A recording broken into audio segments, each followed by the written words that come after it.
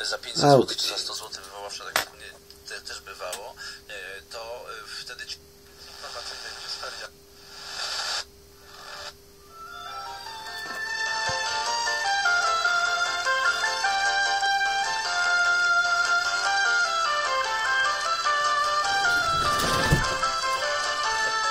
No masz. Już kurwa. Od tego dziada. Nalała. Już się.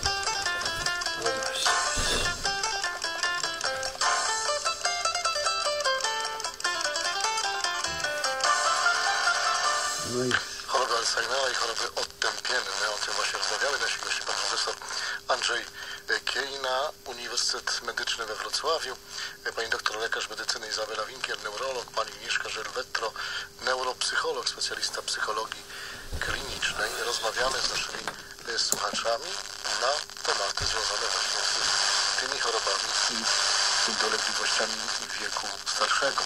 Mamy telefon, proszę bardzo. Szczęść Boże, Szczęść Boże, witamy. będzie pochwalony Jezus Chrystus i Maria, zawsze dziewica. Teraz i zawsze. Jestem Stanisław, organista z Katowic. Witamy Na serdecznie. studiach opiekowaliśmy się chorym profesorem. Był normalnym mężczyzną. Pełnił służbę wojskową. Głęboko wierzący. Nie wiązał się z kobietami, bo złożył ślub czystości. Był osobą samotną. Pytanie, jaki wpływ na tę chorobę ma stan cywilny? Bóg zapłaci. Dziękuję Panie Stanisławie. Proszę bardzo o odpowiedź. Pytanie z kręgu tak zwanych pytań trudnych. Bowiem no, choroby, zaburzenia właściwie dotyczą do obojga płci. A zatem O właśnie. stan cywilny myślę, że tutaj też nie ma większego znaczenia. Yy, To, że yy, zachorował yy, pan profesor, rozum, dobrze rozumiem, to no, jest to tak zwane e, takie zdarzenie losowe, e, bo oczywiście czynniki ryzyka gdzieś tam wpływają. Trzeba byłoby trochę więcej też wiedzieć na temat wieku tej osoby, w jakim, czy tak zwanego tła rodzinnego, czy nie było pewnych jak gdyby czynników takich ryzyka związanych z jakąś, powiedziałbym, takim genetycznym podłożem. Y, No i też y, y, czy nie było mm, jakichś sytuacji, no był, rozumiem, osobą, która w wojsku była, tak, wojskowym. Wojskowy, no ale tu znalazłem informacje na tą chorobę. Tak, no. Pani Stanisławie był chory prezydent Stanów Zjednoczonych, był Ronald No, Reagan, zgadza Iris Murdoch, pisanka Tak, irlandzka, że- Adolfo Suarez, Zgadza premier się. Hiszpanii, Tak, Harold także- Wilson i tak Ta dalej. choroba Los, nie, nie omija los, twarzy. jak gdyby los jakby sobie wyznacza, tak można powiedzieć. No i czynniki ryzyka, których jest trochę, ale to są czynniki, które no, musielibyśmy lepiej poznać, żeby, żeby odpowiedzieć na pytanie. Tak. Ale pan się od, od, roz, brakuje mi słowa, proszę. Przerwał rozmowę, czyli się od nas, prawda, teraz rozdzielił i odłączył, rozłączył. I mamy następny. Bardzo proszę, Radio Maria, słuchamy. Niech będzie pochwalony Jezus Chrystus i Maria zawsze dziewica, Basia ze Szczecina. E, ja mam e, taki problem, to znaczy nie ja sama osobiście, tylko mój mąż. E, Trzy lata temu po operacji przepukliny e, żołądkowej, brzusznej. W sumie po narkozie po jakimś czasie zaczął dostawać dziwnych objawów, jak właśnie brak e, słów, dobierania słów. E, W sumie mąż jest, no myślę, że człowiekiem e, nie aż takim starym, bo wtedy miał 55 lat, teraz ma 57. E, W sumie był kierowany e, na badanie rezonansem magnetycznym, e, gdzie e, po badaniu wykryto u niego w mózgu ogniska zapalne. E, Został skierowany do neurologa e, i w sumie neurolog stwierdził, że to jest związane z wiekiem pacjenta. Czy to jest e, możliwe coś takiego? No trudno nam się do tego odnieść, prawda? Jeżeli były wpisywane jakieś ogniska zapalne w mózgu, no to, to taka, taka, takie podejrzenie wymaga poszerzenia diagnostyki, być może wykonania punkcji lędźwiowo-krzyżowej. No tutaj my, no trudno nam jest to, to tutaj Pani odpowiedzieć na to pytanie.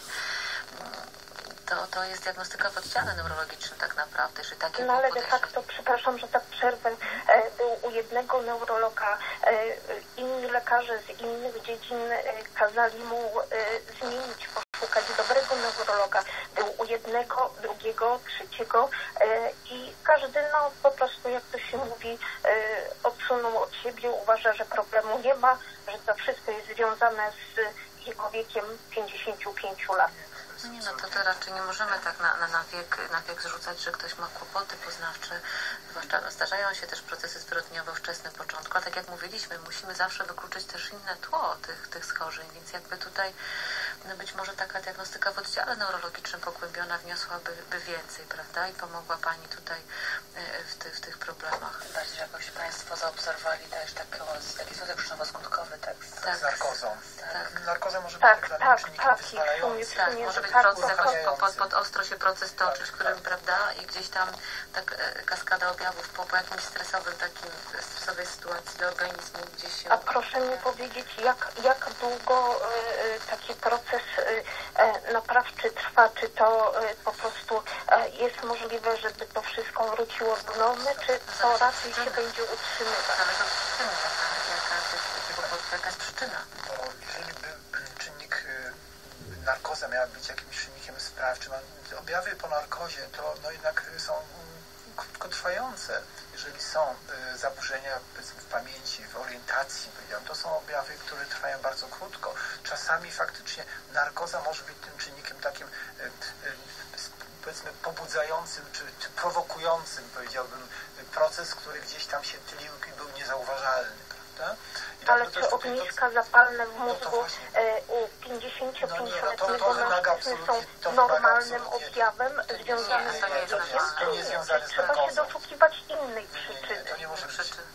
To trzeba szukać innych przyczyn, absolutnie. To więc dlaczego lekarze neurolodzy po prostu bagatelizują e, i No odsyłają, znaczy- uważają, że problemu nie ma, no bo, no bo tak, tak realnie to wygląda. To było jednorazowe badanie neurogazowe, tak? E, tak, rezonans magnetyczny jednorazowo był, później każdy, każdy po prostu e, stwierdził, że to jest z wiekiem, że to jest normalne. E, nawet jeden lekarz, neurolog e, wypowiedział się, że on ma to samo, także tu się nie przejmować, Ale bo to nic nie jest, jest to jest, takiego. pytanie, czy, czy to Pani tam dobrze przekazuje, czy tam było y, taki opis, że są zmiany zapalne, czy może zmiany naczynia pochodne albo Nie, demienizacyjne niewielkie? ogniska zapalne było wyraźnie, jest napisane wyraźnie na tym wyniku e, z rezonansu ogniska zapalne. Wie Pani, no trudno nam się, może lekarz neurolog oglądał sam tą płytkę i stwierdził, że jednak jest, y, nie podejrzewa takiego, no, no trudno nam jest się do tego odnieść, takie Przepraszam, czy y, neuroradiolog, y, bo to był opis neuroradiologa, tak? Dokładnie, dokładnie. neuroradiologa.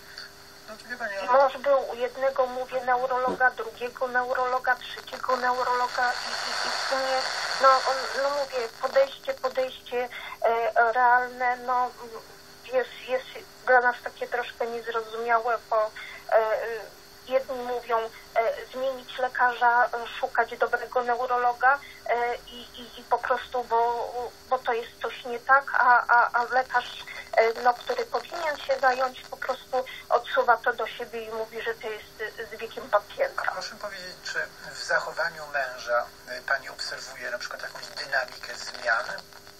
To znaczy, to znaczy są, są e, e, momenty, e, że on po prostu e, zapomina się, zapomina, e, brakuje mu powiedzmy e, w słownictwie danego jakiegoś słowa, nieraz, nieraz prostego słowa. I, i, I to po prostu dla mnie, dla mnie jest dziwne, że, że e, lekarz, który powinien się zająć no, no, e, takim problemem się nie zajmuje, tylko no, pola, e, brzydko mówiąc to, na wik pa- pacjenta, gdzie uważam, że 55 lat mężczyzna to chyba nie jest jeszcze aż tak stary, żeby miał aż tak zaburzenia Proszę mi powiedzieć, czy mąż pracuje jeszcze? Tak, pracuje. tak. A jaki zawód? Pracuje w księgowości, w księgowości pracuje. Dokładnie. Tak. Czy na przykład mąż sam zauważa, że y, na większe, na trudności jakieś, powiedzmy, w wykonywaniu y, określonych zadań, które wcześniej wykonywał sprawnie, czy zauważał sobie tego typu, tego typu, powiedzmy, na przykład pogorszenie Do, do, dokładnie, od, od, od y, tamtej pory on, on po prostu, no, y, y, ciężko mu jest się skupić, Ciężko ciężko mu jest skupić. y, y, pracować. Y, cyf- cyfry, po prostu proste cyfry czasami myli, y, przeinacza i, i, i, i w ten sposób to się objawia. Jeszcze chciałem zapytać, a czy było jakieś wykonywane takie badanie, badanie powiedzmy proste, screeningowe, przesiewowe na ocenę funkcji poznawczych? Czy też ten neurolog tylko obejrzał e, badanie neurologa? Nie, to było, to było tylko, ja powiem y, panu doktorowi, że to było tylko po prostu y, wywiad y, y, z pacjentem, y, obejrzenie po prostu opisu, nawet, nawet nie płyty, tylko zwykłego y, opisu, który y, y, został y, mu dany do płyty i to wszystko. Tak myślę, że kto wie, czy nie warto było na przykład badania neuropsychologicznego.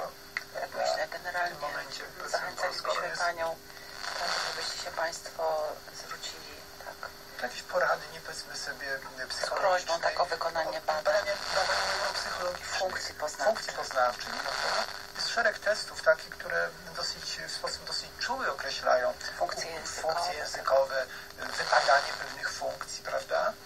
I to, Uwagi, Dokładnie. tak, koncentracja uwagi. i to są, mówię, z tego co Pani mówi, że Pani jest z nadmorza, no jest, są ośrodki tam też akademickie, jest e, w sumie e, no, dobra klinika, e, klinika i neurologii i psychiatrii w Gdańsku, jest wydział psychologii. są No ja zapewne- akurat jestem ze Szczecina. tak, ze Szczecina, no Szczecin też jest e, ośrodkiem akademickim, prawda? Jest ośrodkiem akademickim. Mi się wydaje, że tutaj no, nie należy e, też no, jakoś tam się, powiedzmy, e, e, lękać e, szukania pomocy w innych miejscach, prawda? No, jeżeli z neurologami akurat z którymi Pani się kontaktowała, nie ma Pani jakiegoś najlepszego doświadczenia, nie macie Państwo najlepszego doświadczenia. No, myślę, że tutaj warto, warto się skierować też do, do, do pracowni, która wykonuje badania neuropsychologiczne. Czy takie y, badania to y, rozumiem lekarz rodzinny skierowanie daje, czy Nie wiem, jak to wygląda w praktyce, Pani mhm, mhm, W rozumiem. ramach W Narodowego ramach Narodowego Zdrowia nie ma, Funduszu prawdopodobnie nie, ma. nie ma w ogóle, nie ma- nie ma w ogóle tej procedury, nie ma tego Nie ma nie kontraktowanych takich badań. Y, Natomiast, natomiast no, chyba są. ale badań, ale są poradnie psychologiczne, czasami psycholodzy też współpracują z psychiatrami w poradniach zdrowia psychicznego. Y, Należałoby posłuchać po prostu psychologa, który, który może wykonać badanie y, funkcji poznawczych. Pani Barbaro, tyle możemy pomóc, bo wiadomo, że na odległość przez telefon bardzo trudno się leczy. Dokładnie. Tym bardziej, nie widzimy. Nie widzimy tej płytki, nie widzimy wielu rzeczy, tylko możemy na zasadzie doświadczenia e, naszych gości. Ale ta pora- poradę Pani otrzymała, więc, więc dziękuję. Dziękuję ślicznie. Wszystkiego dobrego życzę Panem Bogiem. Z Panem Bogiem dziękujemy, pozdrawiamy serdecznie Pani. I mamy e, kolejny telefon. Prosimy bardzo, Radio Maryja. Tak, proszę bardzo. Teresa. Witamy Panią Teresę. Ja chciałabym zapytać o tę w takiej sprawie. Hiperostota kości czołowej z modelowaniem obu płatów czołowych. Rozpoznana przez MR głowy, a poza tym w lokalizacji kompleksu ACOA podejrzenie tętniaka, który już teraz jest przebadany i czekam na opis. To znaczy przebadany miałam an Halo, halo? Pani Tereso? Nie mam żadnych dolegliwości z zaburzeniami pamięci, jakichś tam problemów takich. Ja jeszcze samochód prowadzę, bo robiłam kurs w wieku 72 lat. Miałam takie badanie. Pani psycholog powiedziała, że mogę pójść na kurs, bo przy okazji mm, jak męża prowadziłam do takich poradni badania pamięci, bo był po udarze. A teraz A teraz nam się numer. Chyba coś, kazda się wykończyła. No niestety, co możemy Pani Teresie powiedzieć na tyle? No tutaj możemy powiedzieć, że jest rozpoznany tętno, że to jest to poważna choroba i wymaga tutaj konsultacji neurochirurgicznej, Monitorowanie. monitorowania, być może robi też zabieg embolizacji wewnątrznaczyniowej, robi się inne procedury medyczne przez neurochirurg. Człowiek wyrostał nadzwyczaj nie wymaga to jakiegoś szczególnego leczenia i, i tutaj Pani na pewno ten tętniak jest o wiele bardziej taką niepokojącą y, rzeczą, którą, którą tutaj neurochirurg powinien ocenić i zakwalifikować do dalszego postępowania. Czyli taka odpowiedź dla Pani. E, Pozdrawiamy gorąco. I mamy telefon. Proszę bardzo, słuchamy. Tak, halo? yy, można mówić? Można, proszę bardzo, słuchamy Pana. Nie będzie pochwalony Jezus Chrystus i Maria zawsze dziewica. E, Dzwoni Paulina Starnowa. Ja się chciałam podzielić takimi swoimi uwagami, ponieważ się opiekowałam osobą e, właśnie chorą Alzheimera i jakie były wcześniej e, poprzedzające fakty. Ta osoba w 80 latach uczestniczyła w wypadku z czołowym zderzeniem. Miała e, po prostu e, ranna była w głowę, nawet e, przez moment myśleli, że ona nie żyje, bo ją przykryli prześcieradłem i dopiero chyba pielęgniarka zauważyła chyba jakiś ruch u niej, bo jak podniosła prześcieradło, ona się do niej uśmiechnęła, a ona jakoś rzuciła to prześcieradło e, na buzię i ona mówi tak, że myślała, że się nie, nie wolno śmiać. No i potem dopiero pytali ją, jak się nazywa i tak dalej, no, no ona wtedy wiedziała, jak się nazywa, z tym, że no miała kłopoty po tym wypadku, no ale to było w latach 80., a w 87 przeszła wylew. Z tym, że nie poszła do szpitala, bo miała uraz i leczona była w domu przez lekarza, który przychodził. Z tym, że właśnie ten lekarz bardzo dobrze ją prowadził, ponieważ po tym, jak już przyszła do siły, to właśnie zalecił chodzenie e, jak najwięcej na powietrzu, więc ja e, po prostu jeździłam z nią do lasu. E, często żeśmy jeździły do lasu, ponieważ ona nawet lubiła grzyby, grzyby i tak dalej. I co? I właśnie po tym udarze ona przyszła do siebie i już mówiła, pamiętała i tak dalej. I dopiero w 90 jakimś piątym czy szóstym roku zaczęła się dopiero znowu u niej właśnie taka e, niepamięć, z tym, że e, bardzo dobrze e, poradziła mi pani neurolog, żeby nie wyręczać ją w domu, żadnych tam zajęć tak bardzo, tylko kazać właśnie, żeby robiła sama różne rzeczy. I faktycznie, ja się dopiero wtedy zorientowałam, że chyba to jest coś bardzo poważnego, ponieważ ona bez przerwy czegoś szukała i nie umiała znaleźć. I, a ponieważ ja już pamiętałam że, y, zalecenia tej pani neurolog, więc jej nie szukałam, tylko jej mówiłam na przykład, że o, widziałam, że było to tu czy to. I ja się wtedy zorientowałam, bo ja jej mówię, że jest w szufladzie ta rzecz, co ona szukała. A ona stanęła y, przed tą szafą i nie wiedziała, co ma zrobić. I zamiast szuflady otworzyła drzwiczki. Ja się wtedy zorientowałam, że ona po prostu nie pamięta znaczenia, co to jest szuflada. I ja e, właśnie wtedy pojechaliśmy do Krakowa i tam zrobili dokładne badania i było rozpoznanie otępienie starcze typu alzheimerowskiego i to było, w, y, mia- miała wtedy osiem, y, 70, y, około 70 lat. Z tym, że ponieważ dalej właśnie dopóki mogła chodzić, więc jeździłyśmy do tego lasu, no ale się tak nieszczęśliwie złożyło, że ona złamała kość udową, a że miała mm, jeszcze no dokładkę osteoporozę, więc się y, y, ta y, operacja y, endoprotezy nie udała, bo pękła kość nad tą endoprotezą, ona już musiała leżeć, więc wtedy ta choroba postępowała szybko. Co zauważyłam, że właśnie ta mowa zaczęła y, tracić mowę, nie umiała mówić. Nieraz to, po, tak, po swojemu jak dziecko, takie niemowlę, że nie można było jej zrozumieć, o co jej chodzi. No po prostu już opieka to polegała na tym, że trzeba było jej dawać leki, jedzenie, no i tak na domysł. Ale e, miała przebłyski, bo na przykład e, jak jej powiedziałam, że jej koleżanka, którą bardzo lubiła, że jest ciężko chora, to zauważyłam właśnie, że popłynęła jej łza z oka. Więc, y, czyli rozumiała, co ja do niej powiedziałam. E, No a ponieważ była leżąca, więc raczej nie miała takich ty- typowych, y, żeby była jakaś agresywna, czy to no czasem jak człowiek jej nie rozumiał, no to ona się denerwowała, no to jest no chyba normalne. Ale na przykład się ją wzięło za rękę i trzymało się ją za rękę, to ona się uspokajała i tak sobie leżała i nieraz usnęła.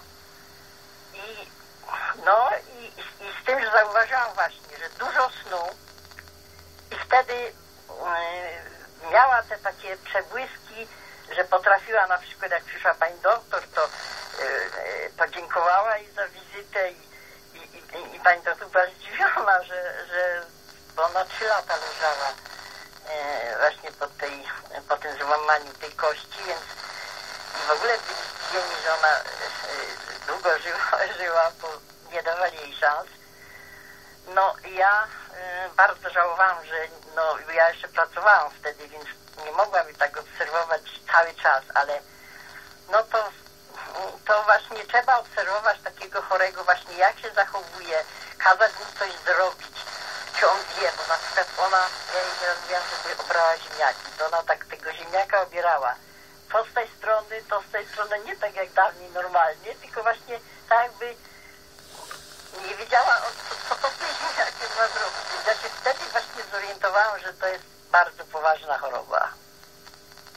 Ale świadomość te osoby mają i one są bardzo wrażliwe, właśnie lubią, żeby siedzieć przy nich, no właśnie trzymać za rękę, wtedy się uspokajają. E, No oczywiście ona miała, no ale to nie mogła na przykład sama już jeść, nie umiała, mm, trzeba było ją karmić. To, co Pani powiedziała, jest właśnie bardzo istotne, że to ciepło, to, tą uwagę, którą dajemy takiej chorej osobie, skutkuje tym, że, że ta osoba właśnie lepiej funkcjonuje. Ma, nie, też opiekun ma mniej takich interakcji nie, niedobrych, prawda, jakichś agresji, jakiegoś zachowania, które, które jest trudne do akceptacji. Więc, ale to, to, co Pani robiła, właśnie rozumiała chorobę, wiedziała, jak się zachować, y, skutkowało tym, że, że, że ten kontakt był Dobrą relację. dobrą relacją. Słuchałam Pani, to miałam takie wrażenie, że Pani jakoś bardzo pięknie towarzyszyła Tak, tej osobie. Tak, tak, Tak, tak, tak, się to tak. Tak. pokazuje swoje Tak, pięknie Pani sprzedała o tej osobie, z której Pani towarzyszyła. To prawie tak jak właśnie opis medyczno-psychologiczny. Tak, tak, tak. Z y, badaniem swoich funkcji, z Tak, z afazją, eksperymentami tak, też. z afazją ruchową. Pani czuła, ale nie umiała tego wyrazić, prawda? Tak, nie, tak, nie rozumiała słów, nie rozumiała prawda? z kolei słów i czułość ruchową. Tak, z takim dominującym Bardzo profilem zaburzeniami. opis. Bardzo dziękujemy za ten opis. Dziękujemy, odbieramy telefony. Powoli nasz audycja już zbliża się do nieuniknionego końca, bo są to rozmowy niedokończone i goście też jutro mają y, dzień pracy, więc to się rozumie, że musimy powoli kończyć, ale jeszcze telefon może. Proszę bardzo, słuchamy. Prosimy. Tak, tak, proszę. Niestety, może teraz? Halo, halo? Prosimy. Halo? Tak, bardzo prosimy, słuchamy Panią. Szczęść Boże, Szczęść Boże. mówi Anna z Mazowsza. Ja, ja chciałam poprosić o uzyskanie takiej porady. Mam ojca, który ma 98 lat i od półtora roku jest w domu spokojnej starości. Ojciec mój to był typ takiego, powiem, samca alfa i jak w tym domu opieki był, to brylował wśród tych mieszkańców. No w tej chwili już e, bardzo tak zniedołężniał. E, w ogóle to stara się dalej brylować w towarzystwie i, i, i dowcipkuje i to na, jest taki biegły, jak Państwo tutaj opowiadaliście, że y, na pytanie, kto jest prezydentem, to zapytał się, czy nowego wybrano, potrafi odwrócić uwagę od swojej niewiedzy. Ale jaki mamy problem? W tej chwili ma ogromne pro, y, problemy y, z utrzymaniem moczu. I lekarz, który jest tam, opiekuje się w tym DPS-ie, w ogóle y, no, uważa, że y, ten fakt i, i, i nie uważa, że to jest otępienie, a ja znając ojca to wiem, że, że, że to jest otępienie, które on stara się zatuszować bardzo, bo potrafi to. I po prostu mm, odmawia nam wypisania pampersów na NFZ ze zniżką. Nie wiem, co Pani mam co, ja, myślę, zrobić. ja myślę, że przede wszystkim to trzeba poprosić konsultację urologa. To jest pierwsza sprawa. Dlaczego to nietrzymanie moczu występuje u starszego mężczyzny? Mogą być poważniejsze sprawy. Jeśli chodzi, a jeśli, jeśli, jeśli, jeśli chodzi o nietrzymanie moczu w chorobie Alzheimera, to to się pojawia, ten aspekt, w zaawansowanej chorobie, tak? Więc jeżeli pacjent, z tego co Pani mówi, jest stosunkowo w dobrej kondycji poznawczej, może ma jakieś deficyty, ale generalnie jest w dobrej kondycji poznawczej, no czasami może tak być, wcześniej pojawiają takie objawy w otępieniu naczynia pochodnym. Więc y, ta diagnostyka powinna być no, poszerzona, tak? Ale ocena urologa, przepraszam, też powinna wziąć, być wzięta pod uwagę jak najbardziej. który wie o tym, y, y, dokumentację całą ma i uważa, że ten brodawczak to nie jest podstawą do y, po prostu wypisania pieluchomajtek. No, to nie wiem, może spróbować do innego, chcę takich porad mówić. Yy, No, rozumiemy, no bo tutaj jest tak, że właściwie, no, nie wiem, czy to taki problem, takie, takie recepty. Nie jesteśmy w stanie jak gdyby, e, odpowiadać za e, lekarza. Także decyzję, no, powiedzmy, robi trudną, ale niezrozumiałą. Teoretycznie, no, powiedzmy, każdemu pacjentowi, który ma tego typu problem, to powinno przysługiwać. Tylko, że, Tylko, że to że jest- to w, w, Są refundacja jest w refundacja. procesach otępiennych i może tutaj właśnie. Pani do tego zmierza, prawda, że te pampersy mogłaby kupić bez tej zniżki, jaką Narodowy Fundusz e, proponuje, więc to chyba tu jest tego Chodzi o ten o tak ten zwany problem. numerek Tak, statystyczny, tak, który jest, tak, że tak powiem, tak, tak. przypisany ojcu. Tak, tak, a to może być zupełnie inna przyczyna. Nie znamy, prawda? Musielibyśmy nie- jakby wiedzieć niekontrolowania. uzasadnienie Tak, tego zbieracze. lekarza znać. Tak. I tak nasi goście się dużo domyślają yy, z tylko ze słyszenia. Bardzo prosimy, telefon kolejny, Radio Maria, słuchamy. O Bogu dziękuję, że na koniec zostałem połączony. Andrzej Schybia. Witamy. Serdecznie witam Państwa lekarzy i księdza ojca prowadzącego. A chcę tylko właśnie zapytać się szanownych gości, bo moja teściowa mieszka w Niemczech, jest 90-letnia, ma Alzheimera, Parkinsona, jest po udarze. I po prostu ostatnio jak byłem, bo- żona się nią opiekuje już 3,5 lata i codziennie rozmawiamy przez telefon i mówi, że już tego nie wytrzymuje, ponieważ teściowa mm, jakby traci rozum, ściągnie ją tam w nocy do okna, że bomby lecą, po prostu do szafy chce wejść i że za ciasno i boimy się, bo i w nocy próbowała otworzyć mieszkanie i wyjść. I, i, i co dalej z tym robić, bo lekarz owszem przepisał jej tam tabletki, była na tych wszystkich badaniach i stwierdzili co, ale czy może na przykład zwiększyć dawkę na spanie, bo ona musi na ocenić, spanie, ale się budzi, to chwila się pyta ile godzin i, i albo, albo na przykład y, pyta się co ja jestem, albo żona i gdzie jest, co to za mieszkanie i tak dalej. I, i to już jest 3,5 lata jestem sam, bez żony, ale poświęciliśmy się do teściowej, bo ona się panicznie bała domu starców, tylko właśnie nie wiem co dalej, bo jak będzie agresywna, a coraz bardziej, bo ostatnio nawet włożyła podstawę czajnika bezprzewodowego do gulaszu. Na szczęście bezpiecznik wybiło, ale boimy się, jest nieraz agresywna taka. I, i, i co dalej z tym? Czy po prostu byłem u księdza tam w Norymberdze i poprosiłem o sakramenty chorych, bo ona nie była kilkanaście lat. Ksiądz ma to uzgodnić, bo pytałem się żony, że dzwonił, tylko w tej chwili mają grypy tam i po prostu po przejściu tej choroby. Tylko chciałbym zapytać się szanownych lekarzy, jak długo to jak będzie coraz bardziej agresywna, co robić? No to są tak zwane zaburzenia, Zapłać. zaburzenia behawioralne, które, no, które są jedną ze składowych tego procesu dementywnego, procesu ot- otępiennego. Tutaj stosuje się różnego rodzaju leki, które wyciszają ten niepokój, wyciszają to błądzenie, ale oczywiście no, trzeba to poda- trzeba, to trzeba też znać, jak gdyby jaki jest stan, y, s- jaka jest sytuacja, y, powiedzmy sobie, jakie są możliwości, powiedzmy sobie, organizmu y, i tolerancja na leki. Także są leki, które się, no, które traktuje się jako, jako preferowane do tego typu, do tego typu zachowań behawioralnych, co nie znaczy, że wszystkie pomagają. Nie wszystkie pomagają. Tutaj no, też metodą prób i błędów stosuje się różnego rodzaju kombinacje, bo to jest no, to, co najbardziej chyba też uciążliwe,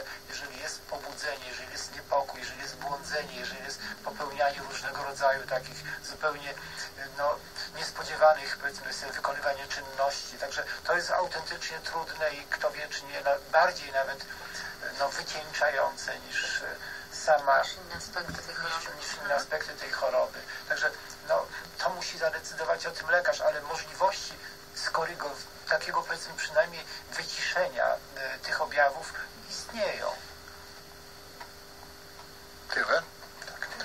Dziękuję bardzo tutaj panu, drodzy państwo. I już podsumowanie takie nasze, e, chociaż w sumie te telefony mogą być jeszcze do godziny i dwóch i pewnie były podobne, ale każdy na swój sposób jest też osobisty, indywidualny. Choroby Alzheimera, choroby otępienne, o tym, o tym mówiliśmy, etapy, a więc jeżeli tylko jakieś symptomy, tak zwane rozpoznanie, to nie bójmy się, korzystajmy chociażby z takiego środka jak w Ścinawie, żeby po prostu nie mieć wątpliwości, albo żeby rozpocząć pomoc człowiekowi.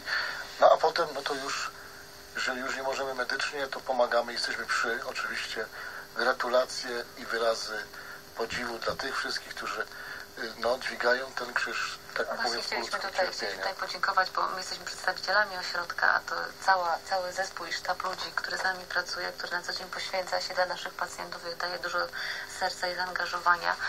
I, i, I chcielibyśmy też o tych wszystkich naszych kolegach i koleżankach, i lekarzach, i pielęgniarkach, i terapeutach, i wszystkich ludzi, którzy, którzy ogromny wkład y, w, też w rozwój tego ośrodka i, i w pracę, i w pracę z naszymi pacjentami dużo dają od siebie. Także tutaj chcieliśmy też to na koniec Wyrazić, nasze, nasze to uznanie dla naszych kolegów. Czyli dziękujemy tym kolegom, dziękujemy wszystkim ludziom, dobrym lekarzom, dobrym, a ufamy, że takich jest więcej, większość i siostrom służby zdrowia nie tylko, profesorom na uczelniach, no i też tym takim aniołom dobroci, którzy, tu, którzy są w naszych domach, prawda, z rodzinami.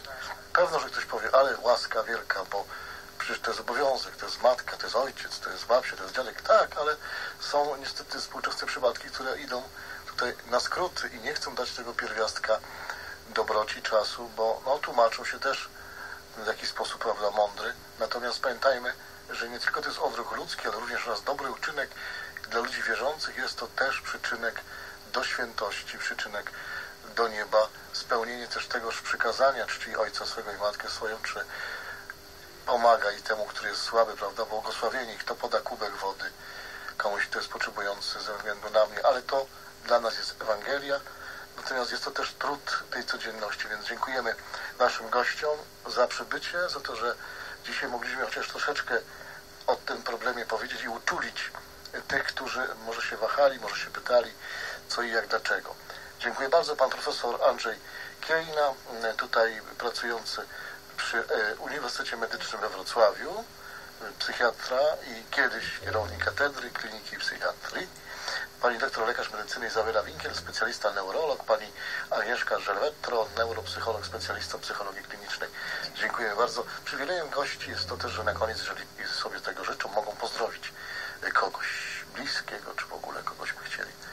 Kogo pozdrawiamy? Macie kogo pozdrawiać? Oczywiście, moją rodzinę pozdrawiam całą. Czyli pani doktor Izabela pozdrawia rodzinę z Wrocławia? Nie, z Lubina. Z Lubina, przepraszam. I z Wrocławia ja, też. to, oczywiście, pozdrawiam też wszystkich bliskich, przyjaciół, jeśli słuchają tej audycji, ale także wyrażam swoje takie uznanie dla e, współpracowników z ośrodka w Ścinawie. Pozdrawiam. Dziękuję bardzo. Pozdrawiam wszystkich współpracowników ze Ścinawy, ale też wszystkich ludzi, którzy pomagają innym ludziom.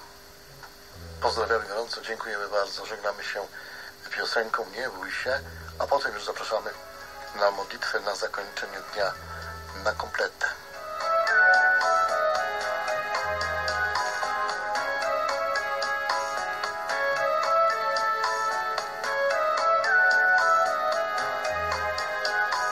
Nie bój się, jestem przed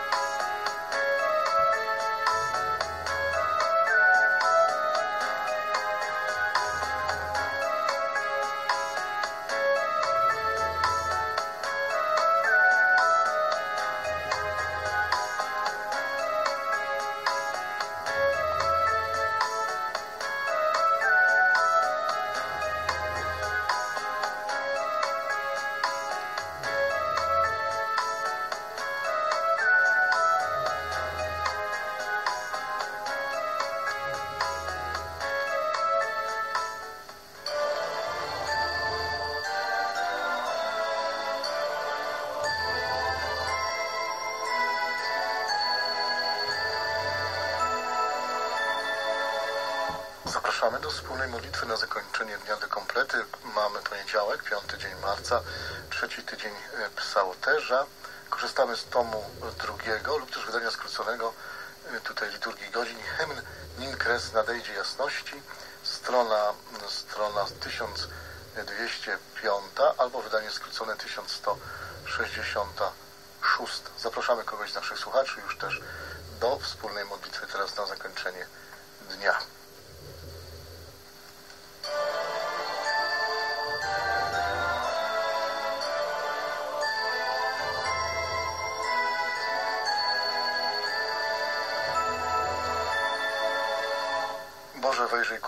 Ku wspomożeniu memu.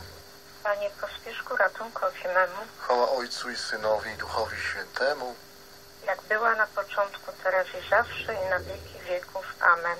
Kończy się kolejny dzień naszego życia, kolejny dzień Wielkiego Postu, kolejny dzień przygotowania nas do wielkich świąt Zmartwychwstania Pańskiego.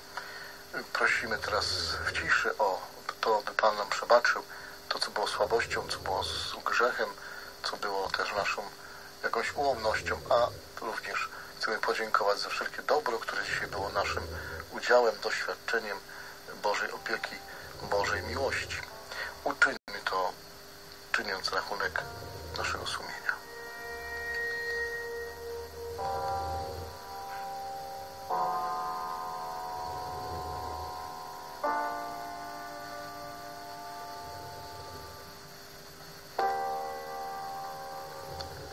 Zmiłuj się nad nami, Panie.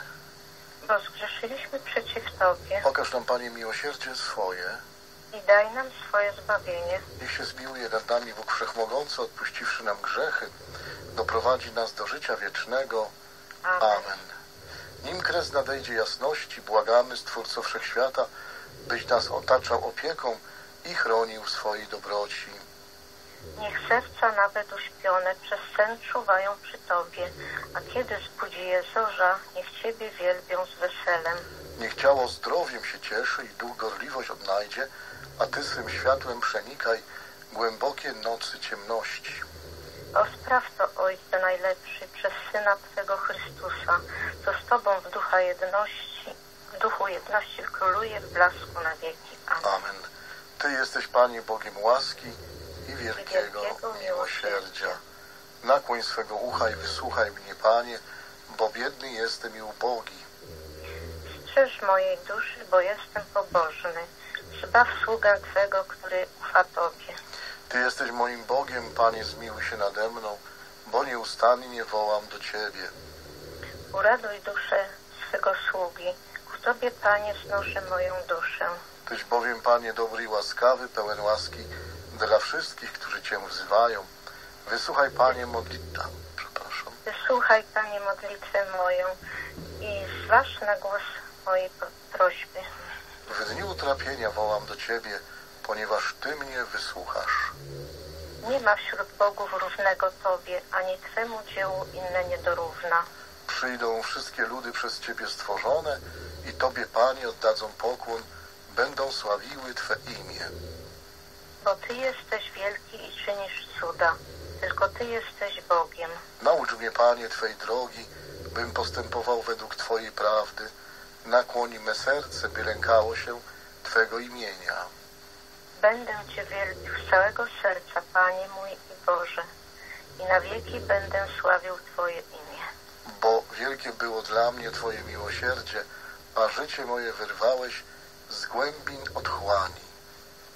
Boże, pyszni przeciw mnie powstali, zgraja zuchwalców czyha na me życie, a nie mają oni względu na Ciebie. Ale Tyś, Panie, Bogiem łaski i miłosierdzia, do gniewu nieskory, łagodny i bardzo wierny.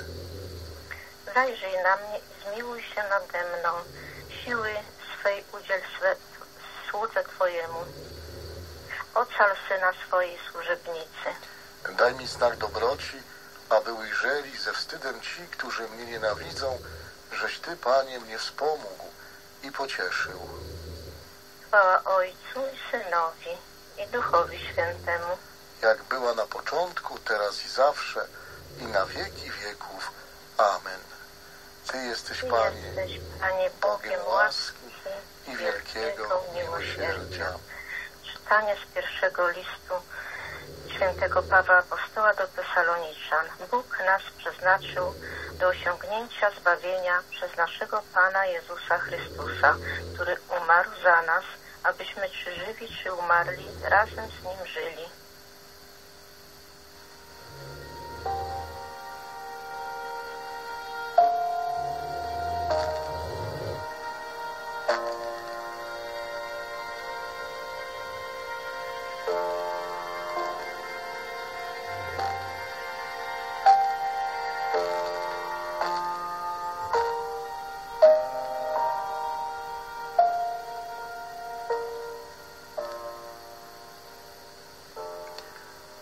Twoje, Panie, powierzam ducha mojego. W ręce Twoje, Panie, powierzam ducha mojego. Ty nas odkupiłeś, Panie Boże wierny. Powierzam ducha mojego. Chwała Ojcu i Synowi i Duchowi Świętemu. W ręce Twoje, Panie, powierzam ducha mojego. Strzeż nas, Panie, gdy czuwamy, podczas snu nas osłaniaj, abyśmy czuwali z Chrystusem i odpoczywali w pokoju. Teraz, o Panie, pozwól odejść swemu słudze w pokoju, według słowa Twojego. Bo moje oczy ujrzały Twoje zbawienie, któreś przygotował wobec wszystkich narodów. Światło na oświecenie pogan i chwałę ludu Twego Izraela. Chwała Ojcu i Synowi i Duchowi Świętemu. Jak była na początku, teraz i zawsze i na wieki wieków. Amen.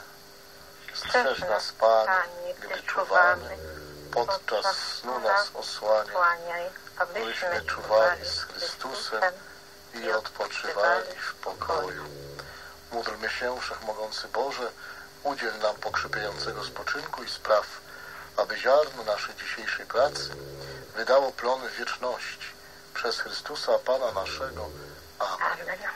Noc spokojną i śmierć szczęśliwą niech nam da Bóg Wszechmogący, Ojciec i Syn i Duch Święty. Amen. Amen. Witaj Królowo, Matko Miłosierdzia, życie słodyczy i nadziejo nasza witaj. Do Ciebie wołamy, wygnańcy synowie Ewy. Do Ciebie wzdychamy, jęcząc i płacząc na tym łez padole. Przeto, orędowniczko nasza, one miłosierne oczy Twoje na nas zwróć. A Jezusa, błogosławiony owoc żywota Twojego, o tym wygnaniu nam okaż. O łaskawa, o litościwa, o słodka Panno Maryjo. Amen. Dziękuję Ojcze Januszu za zakończenie, za modlitwę wspólną. Pozdrawiam Ojca i wszystkich, wszystkich, którzy się modlili z nami. Modliła się Władysława z Nesy. Bardzo dziękuję i życzę szczęśliwej, błogosławionej nocy. Zapłać. Wszystkim. Dziękujemy Pani i oczywiście wszystkim naszym słuchaczom za wspólną modlitwę teraz na zakończenie dnia.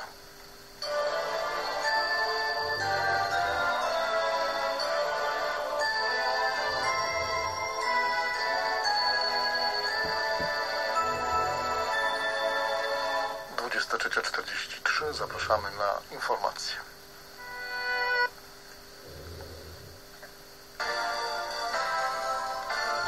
Zapraszam do wysłuchania skrótu wiadomości z kraju i ze świata. Premier Mateusz Morawiecki przedstawił propozycję ograniczenia administracji rządowej. Szef rządu zapowiedział m.in. redukcję stanowisk o co najmniej 20%, likwidację nagród i premii dla członków rządu oraz integrację instytucji administracji rządowej. Program ma przynieść co najmniej 20 milionów złotych oszczędności. Rozwiązania te popiera PiS i Kukiz 15. Premier Morawiecki planuje także w najbliższym czasie spotkania z przedstawicielami diaspory żydowskiej na Zachodzie, zapowiedział przewodniczący zespołu do sprawy dialogu z Izraelem Bartosz Cichocki. Wiceszef MSZ dodał, będzie to bardzo istotny nurt działań. Niedawno doszło do pierwszego spotkania polskiego zespołu do spraw dialogu prawno-historycznego z jego izraelskim odpowiednikiem.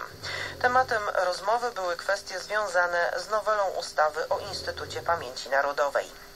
Sejm dokona jutro wyboru członków Krajowej Rady Sądownictwa. Swoich kandydatów do Rady wskazały kluby PiS i Kukiz 15. Pozostałe kluby nie skorzystały z tego prawa.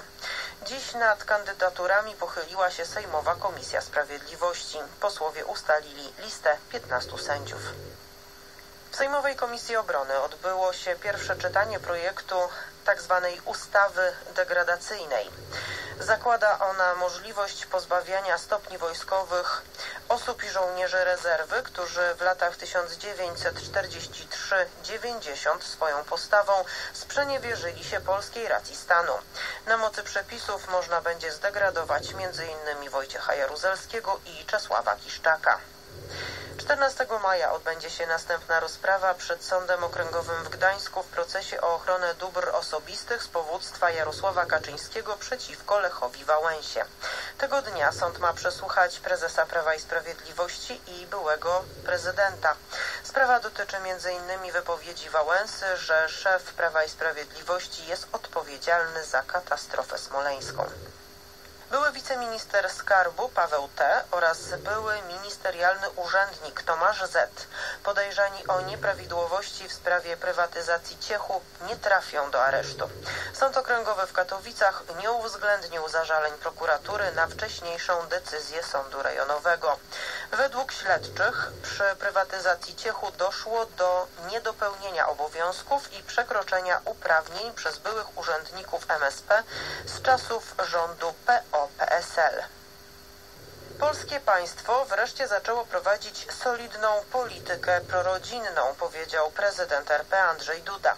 Najwyższy przedstawiciel państwa polskiego spotkał się z mieszkańcami Środy Wielkopolskiej. Prezydent wyraził zadowolenie, że polityka prorodzinna jest odczuwalna przez rodziny wielodzietne. Rząd w ramach programu Rodzina 500 Plus wypłaca świadczenia na drugie i kolejne dziecko. W rodzinach biedniejszych także na pierwsze.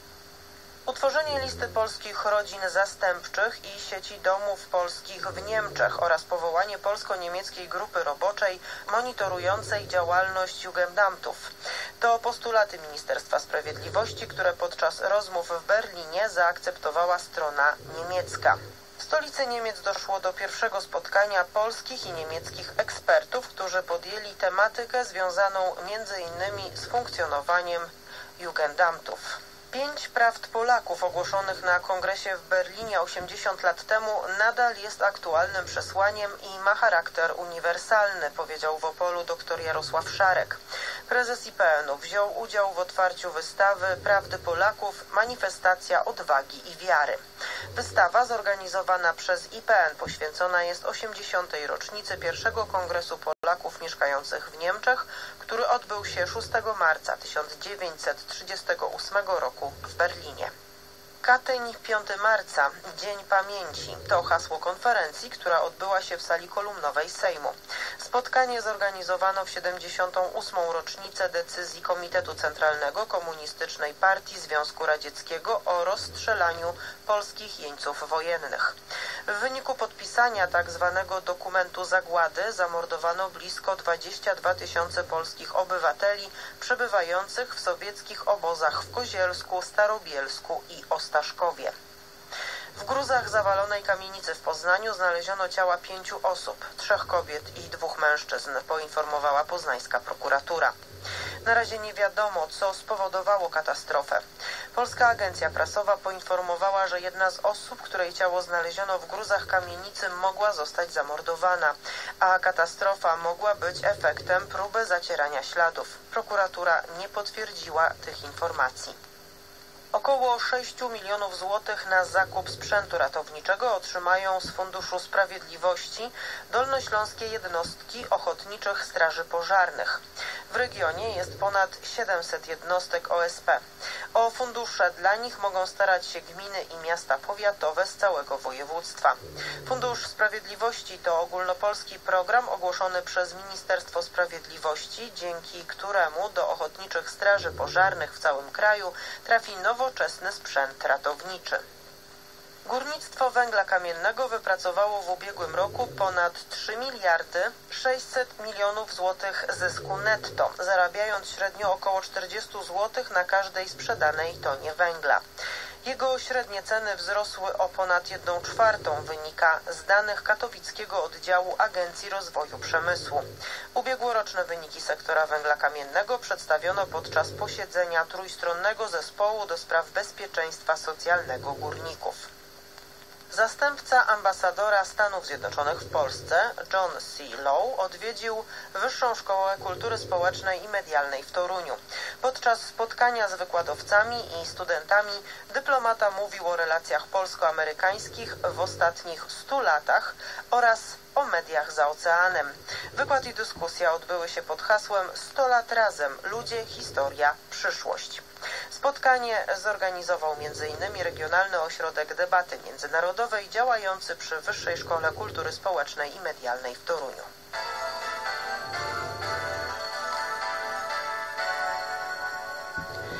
Prezydent Niemiec Frank-Walter Steinmeier przedstawił oficjalnie Bundestagowi Angelę Merkel jako kandydatkę na urząd kanclerza.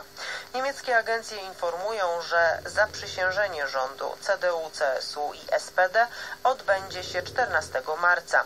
Wybory do Bundestagu odbyły się 24 września. Chadecy najpierw podjęli rozmowy sondażowe na temat koalicji z Zielonymi i FDP, jednak po fiasku tych starań zwrócili się do swojego dotychczasowego partnera SPD. Antysystemowy Ruch Pięciu Gwiazd, który po niedzielnych wyborach we Włoszech jest pierwszą partią w obu izbach parlamentu, zadeklarował utworzenie rządu. Lider ugrupowania wyraził gotowość prowadzenia rozmów ze wszystkimi partiami. Według wstępnych wyników ugrupowanie to uzyskało około 32% głosów. Z wynikiem prawie 36% prowadzi koalicja centroprawicy z najsilniejszą w tym bloku Ligą Północną, która też chce stworzyć rząd.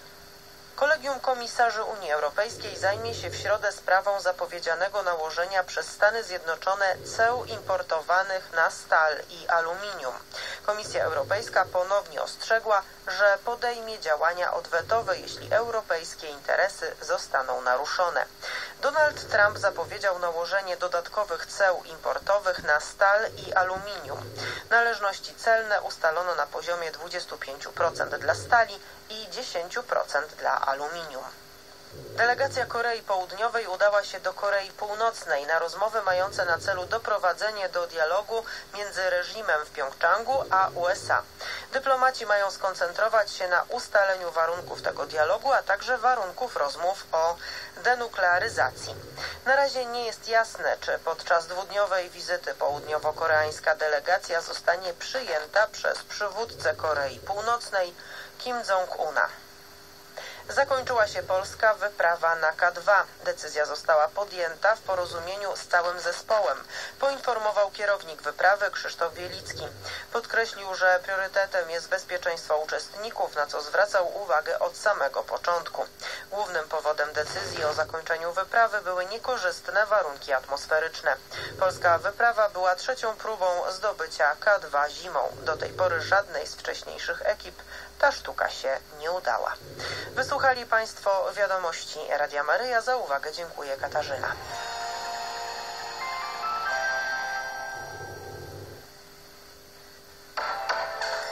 Wybrane problemy, tematy, artykuły z codziennej prasy polskiej.